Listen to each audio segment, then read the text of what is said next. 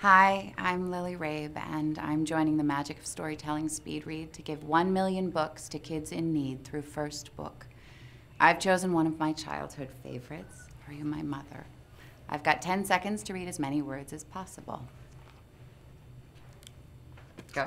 This is, oh, here I go. Okay, wait, ready? Do you ready, set, go me? I can ready, set, go. Can you? Yeah. Okay. I'll give you a minute.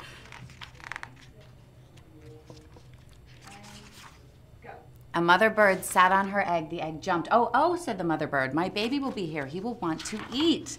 I must get something for my baby bird to eat, she said. I'll be back. So away she went. The egg jumped. It jumped and jumped um, okay, so beat that.